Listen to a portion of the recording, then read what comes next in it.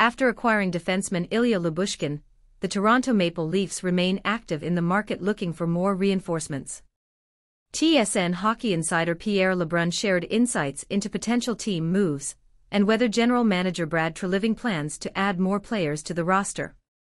When asked about the possibility of the Maple Leafs still being active on the market, LeBrun mentioned that while the initial priority was finding a physical right-shooting defenseman, Treliving could still explore opportunities to strengthen the team.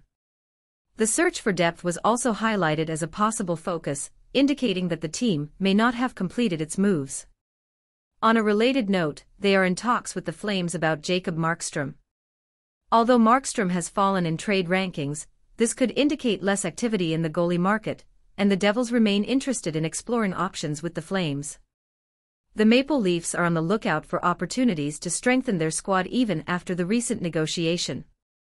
Fans can expect the team to continue evaluating options to ensure the best formation possible during the final stretch of the season.